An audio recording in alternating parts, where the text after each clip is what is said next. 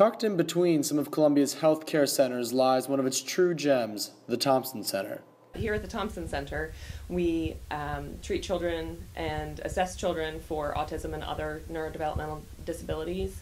Um, so that includes um, everything from premature newborns who need developmental follow up care. We are the designated um, NICU follow up clinic for Women's and Children's Hospital here in Columbia.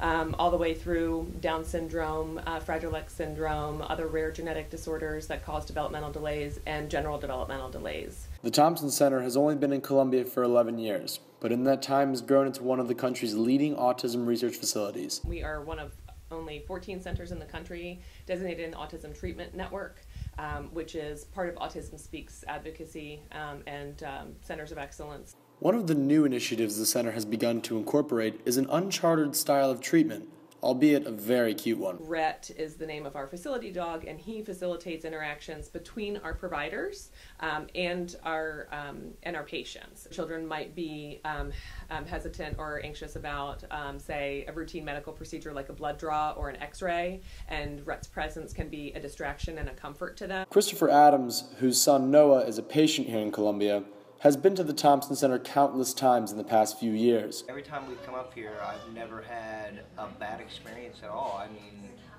it's always been something good. To any family that's out there, you know, I, I recommend definitely, definitely try it out because I mean, a place like this that's willing to help is a godsend.